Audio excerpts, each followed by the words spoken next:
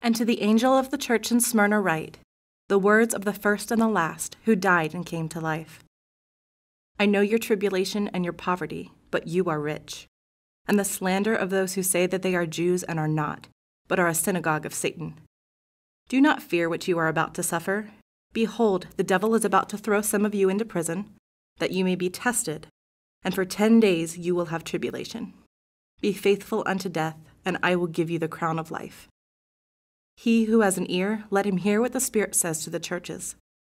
The one who conquers will not be hurt by the second death.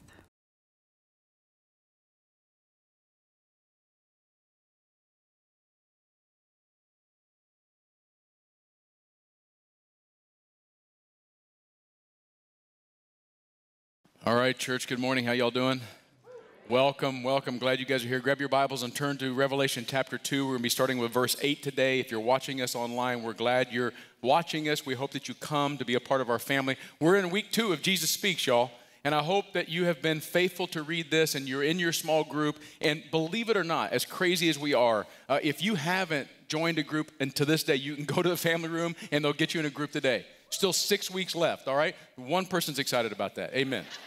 Uh, but Jesus Speaks, all right, is, is not just an all church study, it is a movement of God. Thousands of people, over 3,000 people, are in this, moving, stepping towards uh, Jesus Christ and listening to his voice. And that brings us to Revelation 2, those words we just heard. You know, the temptation is, if you're like me, is sometimes when we experience the Bible, we often turn, we tune it out because it seems like an ancient writing, it seems like ancient words, or maybe we've been around church for so long we just take for granted these words and we're like, yeah, Jesus says, blah, blah, blah. But I, I want you to realize that in the historical setting, some people actually heard these words for the very first time. Uh, that, that they came to church on a Sunday morning, probably not like this and they gathered together, and some historical figures experienced what we're going to read here in just a few moments for the very first time. And it was fresh and it was new. And when it comes to the letter of the church in Smyrna, guess what? We have a historical figure that we know about, not a biblical figure, but a historical figure that we know was probably alive when this letter was first read in the church of Smyrna. His name is Polycarp. Polycarp is a famous uh, you know, apostolic father, some people call him in the Christian circles. And he's a famous historic dude. When, if we know his life and it's accurate, he was probably 25 year old young man in the church at Smyrna when he first heard these words. Can you imagine that? Uh, Polycarp got to hear this very first reading of the book of Revelation, and specifically, he must have paid attention to this church in Smyrna. We know this because 20 years after this book was written, Polycarp is the leader of the Smyrna church. He's the bishop of Smyrna. And not too long after that, 20 or 30 years after that, he wrote a letter to the Philippians, uh, the Christians in Philippi, as one of authority kind of leaders. So again, if you think this is all made up, this is not made up. This is a real dude, a real guy, weird name, Polycarp. And you should you should care. You should Google him today. You should study him today because there's three things about this historic guy with a weird name that really matter to us today. Number one, Polycarp was a personal disciple of John, uh, the writer of Revelation, John the apostle. He was in his small group which means the stuff that Jesus told John in 33 AD is passed on to a man who lived halfway through the 100s. You know what that means? We have a tie to our faith. We also should be excited about Polycarp because in his writings, in his letter to the Philippians, he quotes most of our New Testament scripture. He quotes verses from almost every book in our New Testament. You know what that means? That means the church in the first century and the early second century, they were accepting these New Testament writings as being words of God. The other thing we're going to talk about here in this sermon is that Polycarp was a dangerous witness. And that's so much a part of what we uh, want to be here at Eastview Christian Church that we'll talk about that in just a moment. Imagine that you're in church, you're in Smyrna, it's 95 AD, and somebody comes in, the person who gets up to make the announcements, just like Charlie did. I'm sure they had announcements because you can't do church without announcements. They invited them to the family room. They, they said, sign up for our, you know, our email. They had, they had this new technology where you chisel and stone and you can get it out in the atrium. Just kidding. But I'm sure at some point during the announcement time, they said, Hey, good news. We get this fresh new word of God from John the Apostle, and he speaks specifically to our church. Let me read it for you. And I imagine everyone, including a young Polycarp, perked up and they listened. A personal letter, Jesus speaking to me. Here's what he said. Verse 8 To the angel of the church in Smyrna, write the words of the first and the last who died came to life. I know your tribulation and your poverty, but you are rich. The slander of those who say that they are Jews and they're not, but they're the synagogue of Satan. Do not fear what you're about to suffer. Behold, the devil is about to throw some of you into prison that you may be tested. And for 10 days you will have tribulation. Be faithful unto death, and I will give you the crown of life. He who has an ear, let him hear what the Spirit says to the churches. The one who conquers will not be hurt by the second death. Let's pray and ask the Lord to speak to us today. If you would, if you dare, ask God to say something to you today. God, we stand before you, sit before you with open hearts, open ears. Uh, you know what I believe. I believe you have something you want to say to every person here today. And I pray that you give me your Holy Spirit power to do that. I pray that this sermon will be alive now by the living word Jesus and by the living word the Bible. And that you, you would be lifted up and that you would be heard. God, speak to us, young Christians, old Christians.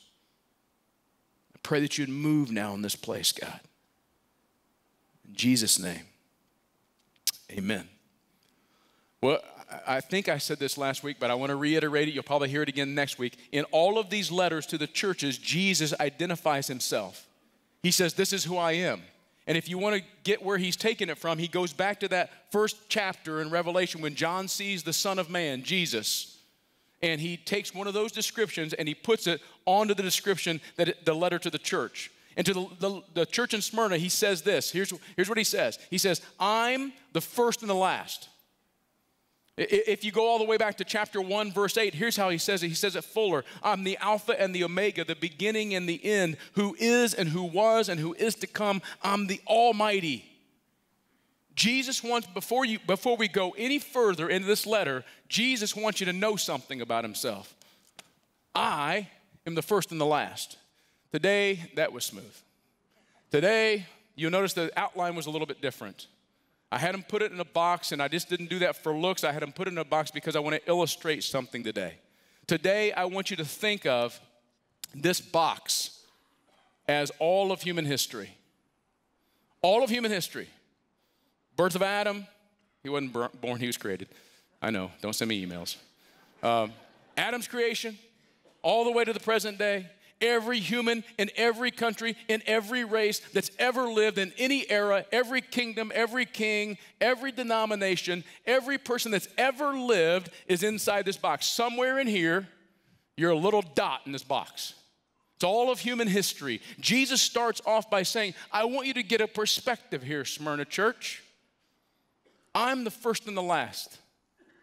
I was before this box, I'm after this box. I'm in charge of this box. There's no power in this box that's bigger than me. Amen? I'm in charge. Just understand this from the very beginning. I am the first and the last. It's a revelation. Remember, Jesus is revealing himself to us. I'm in charge. I was dead and I'm alive again. I'll talk about that in just a moment. This box is everything. Jesus wants Smyrna, and he wants us to know that he is beyond, that he's eternal, that he transcends history and time. For those living inside this box, that's very important because I'm inside this box.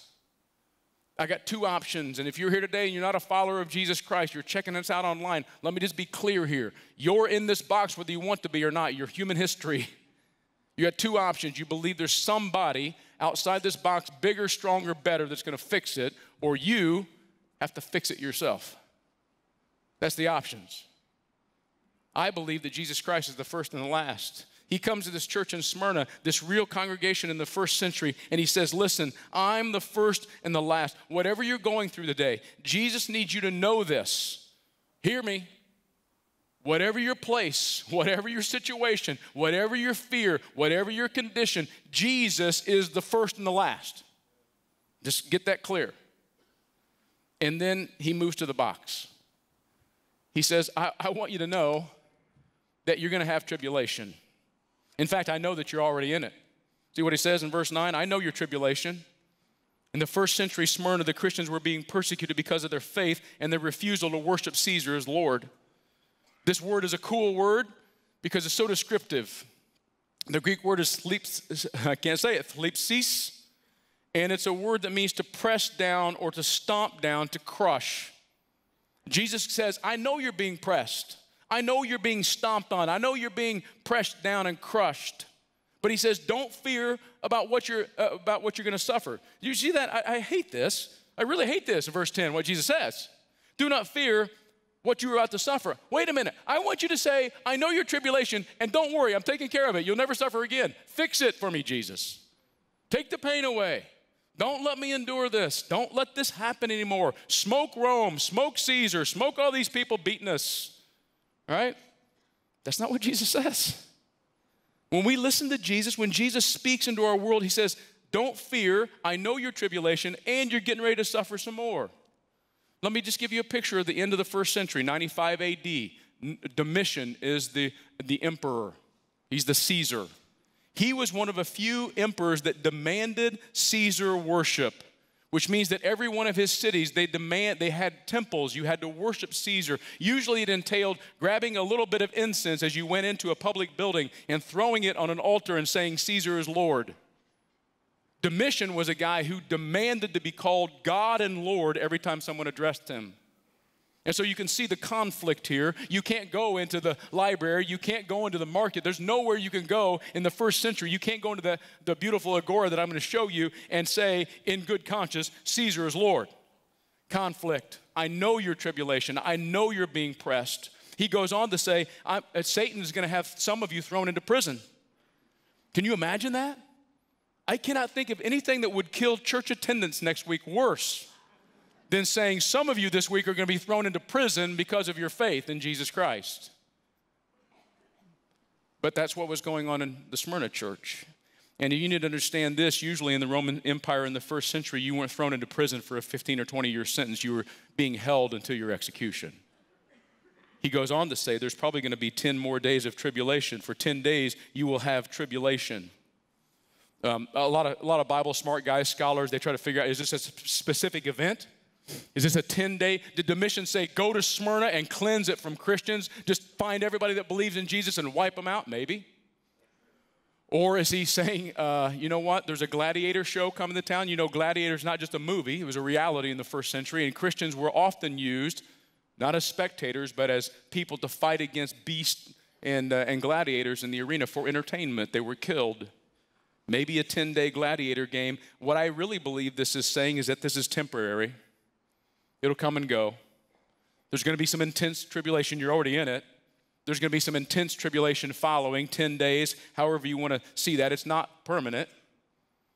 Tribulation has come and gone for Christians for 20 centuries. You just need to understand that. I want to remind you of that today. It goes with being a follower of Jesus Christ. Tribulation does. Last November, Caleb, my son, and I were uh, blessed to be able to go to our partners in India and preach at a youth conference there. But along the way, we got to meet some other people. Some people who would read this book of Smyrna and go, hey, that's us.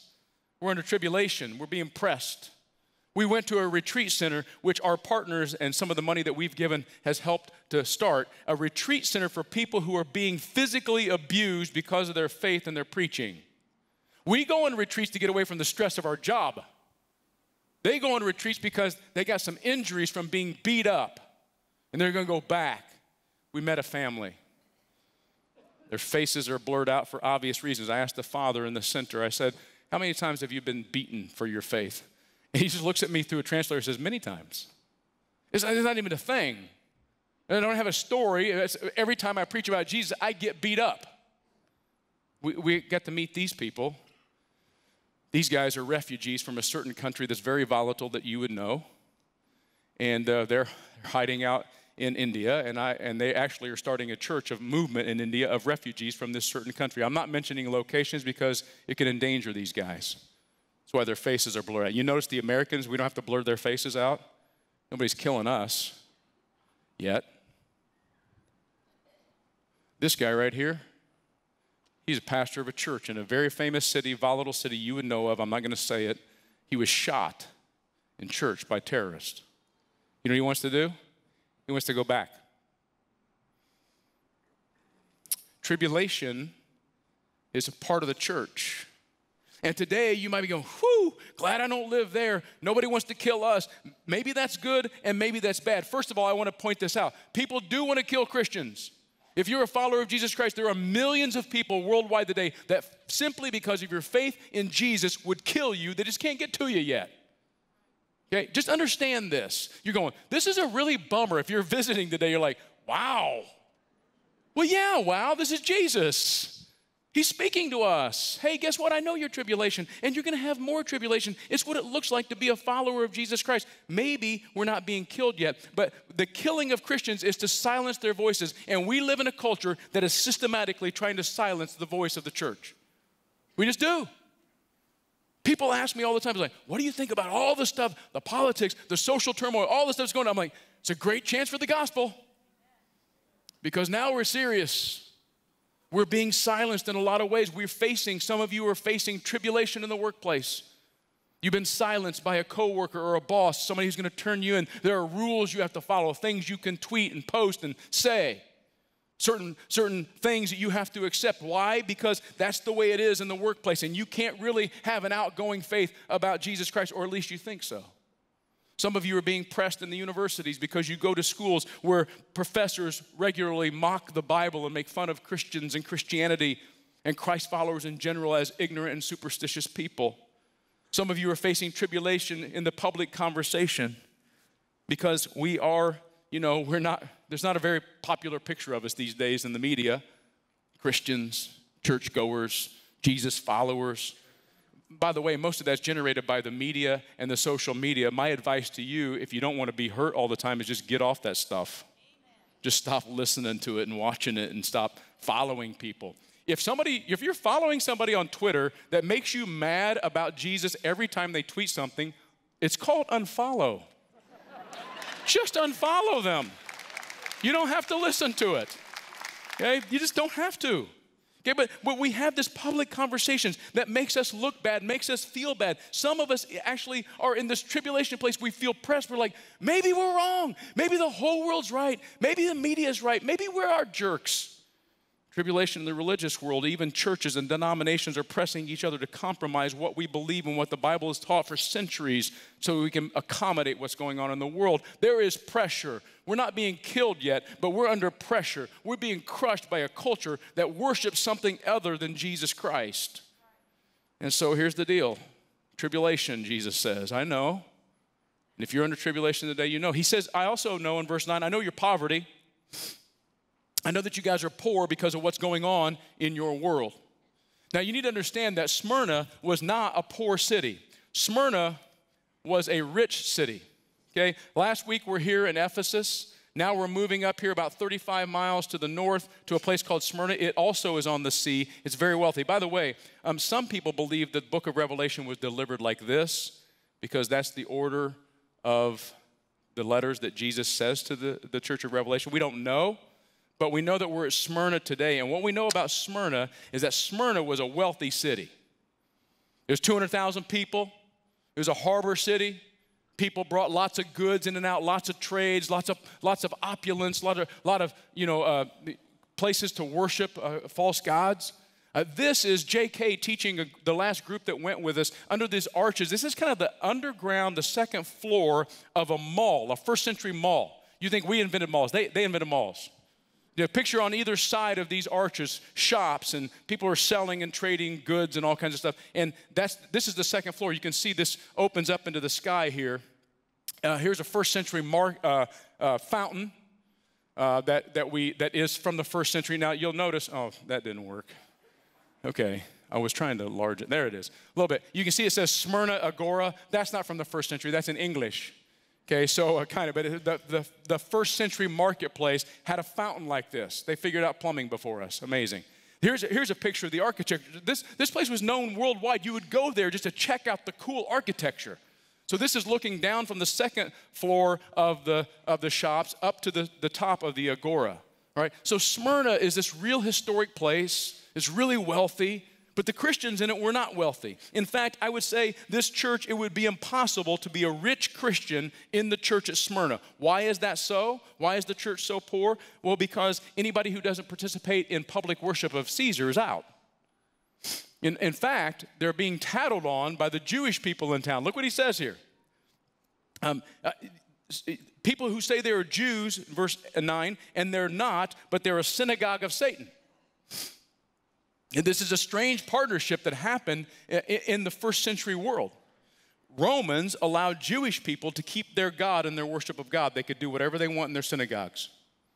They said, No, you don't have to worship Caesar. You are the exemption. Jewish people are the exemption, first century. We know this historically. So, what does Christianity come out of, right? It comes out of Judaism, it comes out of the Jewish faith. Jesus is the fulfillment of the Jewish faith. So, they, they wanted to worship at synagogues still and worship Jesus as the fulfillment of the Old Testament. But guess what? The Jewish people were turning them into Roman authorities, going, they're not Jews. They worship Jesus. They're Christians. So they actually partnered with their own enemies. The Jewish people hated the Romans, but they hated the Christians even more. So they're going, hey, he's not in the synagogue. Don't let him get a job. Don't let him shop in the marketplace. He's a worshiper of Jesus Christ. Just ask him. And so it had to do with how the Roman culture and the market and society revolve around Caesar worship. If you didn't participate, you were shut out of the public discourses, out of business. It would have been impossible to be a wealthy Christian business person in Smyrna in the first century. And here's another factor that you might factor in one third of the Roman Empire was slaves in some form of slavery. A third of the Roman Empire. Guess who's attracted to church? People who are not accepted anywhere else in life. The church is going, we love all people. There's neither Jew nor Greek, slave nor free, male nor female. Come on in. Everybody's the same in Jesus Christ. Guess where I'm going if I'm a slave? I'm going to church because they accept me, they love me. Okay? So this is a church broadly made up of people who are just surviving day to day because they can't make it. In Jesus' words, though, I want you to hear this. He says, But you're rich. I know your poverty, but you're rich. It's just an, this is not the sermon. It's just a reminder that if you think you're rich because you have stuff, that's not Jesus' economy. Jesus says, You're poor, you don't have anything of the world, but you're rich because you get something better. And Jesus is reminding us that. That's not the sermon, that's just extra stuff. So maybe you want to put a little bit more in the offering this week. It's a joke. The next thing he comes to is slander. I know your tribulation, I know your poverty, I know the slander of those. This word, word is a powerful word. The word slander is the word we get blasphemy from, blasphemia, the Greek word. It means to talk bad about somebody to their harm. That's why when you blaspheme God, you're saying something bad about his name. When you talk about somebody else, and it's, it's bad for them and it hurts their name and, it, and it's, it's a lie against their reputation, then you're blaspheming, you're slandering. It's why Jesus refers to these people as the synagogue of Satan. I want you to see all through this. It's Satan and the devil that's behind it all. It's not the Roman government. There's a message in there for us today. If you don't like the government you got, it's not the government. Okay? Satan's behind it all. It, it, these people are a synagogue of Satan. That word Satan we've talked about before means adversary. Satan's against us. He's against the church, all things church, all things Christian. And then this interesting word uh, where it says the devil is about to throw some of you into prison, guess what? That word devil is another Greek word that means the same thing as blasphemy liar, non truth teller. Guess what? The accuser, the one who's going to say bad things about you. He's going to blaspheme your name. Slander against the church is part of this big box of human history. It just is. It's, it's going to happen. It's always happened. It's true of Smyrna 1900 years ago, and it's been in every place the gospel's ever been preached or believed. It, Satan is behind making us look bad, saying bad things about Christians. And if it's true in the first century, listen, Jesus is speaking, listen, I know, I know the blasphemy against you. I know the slander against you. What are some of the slanders against us? Well, one of the slanders in our, in our culture is that Christians are unrighteous hypocrites. Uh, we're unrighteous hypocrites, which is exactly the gospel message, by the way. I can't fix myself. I'm a sinner. I'm a mess. I'm not righteous. I can't get righteous. I need Jesus to save me, take away my sins, and make me into the person He wants me to be. That's my message. And I'm along with the Apostle Paul in Romans 7. The things I want to do, I don't do. Sometimes the things I don't want to do, I end up doing. And what's he say there? He says, God help us. What's going to happen? Praise God for his son, Jesus Christ, and the mercy we find in him. If you find me acting hypocritical, I'm being honest. I'm the most sincere hypocrite you ever want to meet. Because I'm telling you, I'm going to mess up. I'm telling you, I'm not going to live out to what I really want to, but I believe that Jesus is fixing me. The world's hypocritical. Did you see who spoke at the women's uh, march this week? Madonna. Madonna. we should not objectify women as sex objects. I agree with that. Does anybody remember the 80s? Please, Madonna.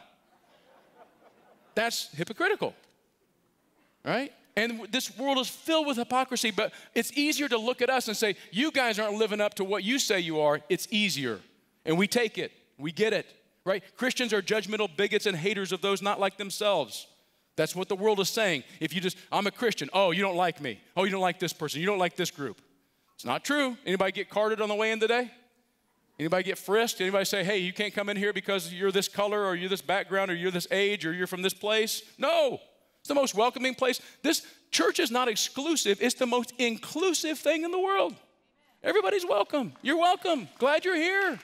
No matter who you are, no matter what you've done, no matter where you've been, the church, we're the only worldwide, or the church, listen to this. The church is the only worldwide organization whose job and task is to love people not like themselves, to pray for people who hate them, to welcome and serve people who hate them, and will never love them and will never believe like them. That's, that's a strange organization. It's called the Church of Jesus Christ. We're not exclusive, we're not judgmental, we're not haters of people not like ourselves. Christians are ignorant. They follow ancient writings that aren't true, made up, no more than fables. Again, we are not in opposition to science. Every time science discovers something in the bottom of a test tube or sees something in outer space through a telescope, it just proves God. I'm, I'm lockstep. And if real scientists are really honest, they'll say that much of their science is because they believe there is no God and they're making, uh, you know, experiments make that happen.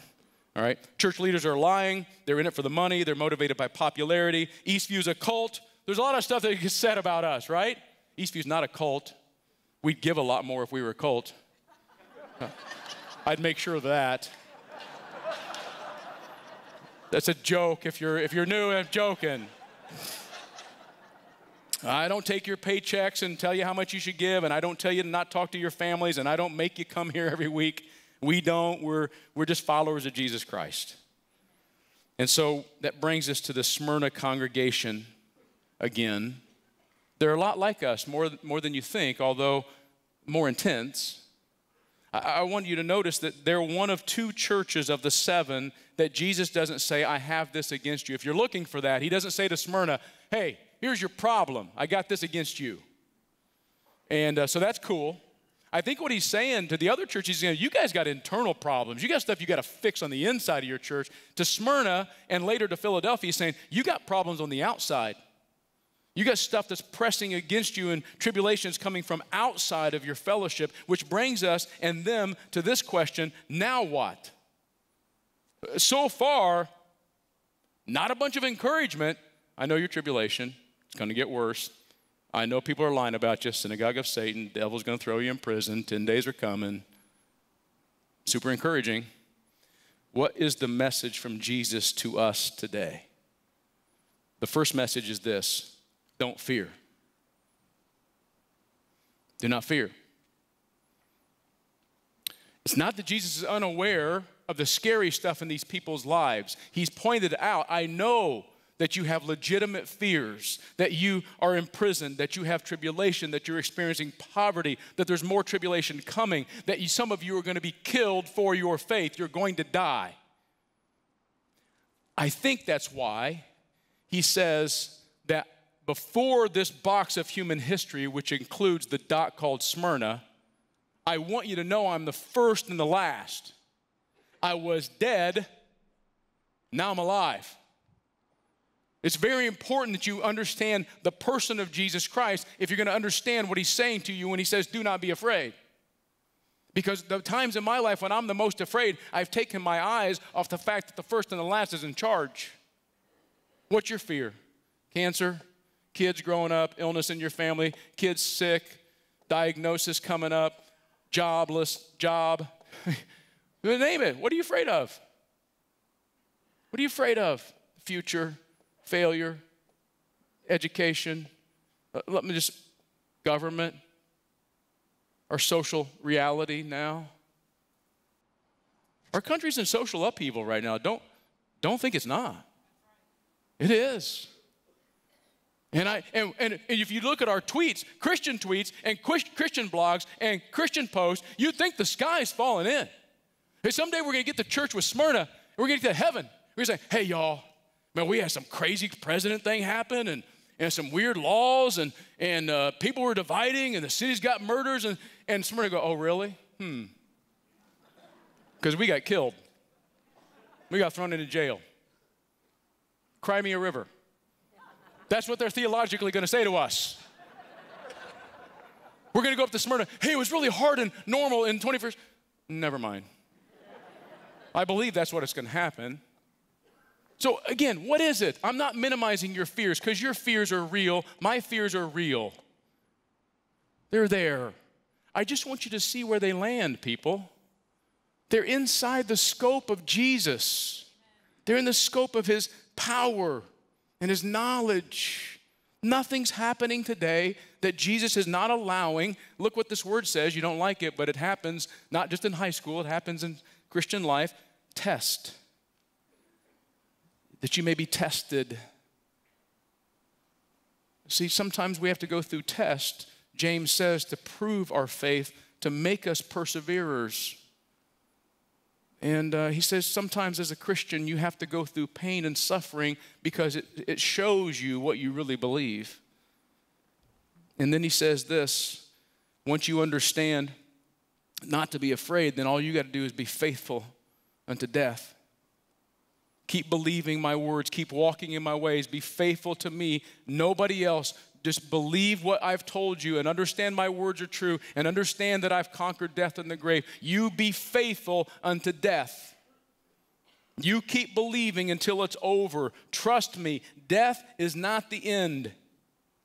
In fact, it's the way to your victory. I want you to hear this today, no matter what is going on in your life today. This is the word from the first and the last, who was dead and is alive again. For whatever your fear is, death ain't no thing. Been there, done that. Conquered it, destroyed it. Death, where is your sting? Death, where is your victory? He says, Listen, if you remain faithful unto death, verse 11, I'll give you a crown of life. I'll give you a crown of life.